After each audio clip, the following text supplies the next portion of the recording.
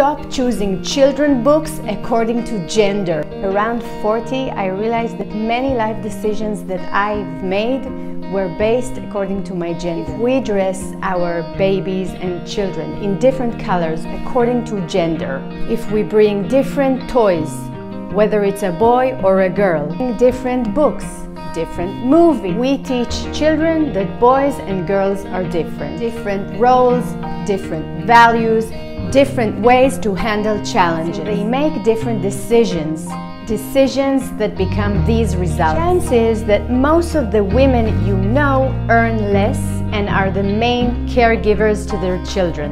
Most men are the main bread providers, including in my family. I'm going to show you six ways to recognize books that offer a wider type of boys and girls. Don't read to girls only books about a classic princess that her beauty is her main benefit. Books that assume that girls love pink, art, being pretty, less.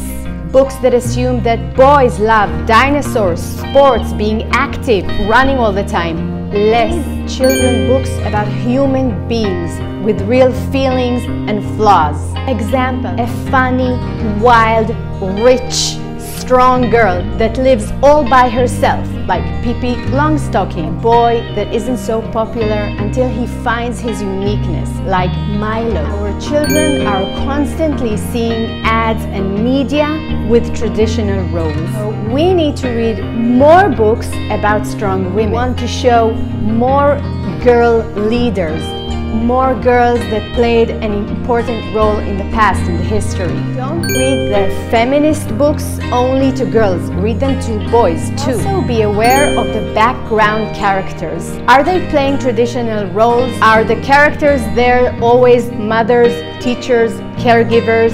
The fathers are the bread providers. Check if there is diversity in those background roles This is important to you be aware of the books you choose to read to children. Spread this mindset with other parents and teachers. Share this video or other resources with other parents and teachers. If you would read books like this daily to your children or students, would you think this would create a change in the world?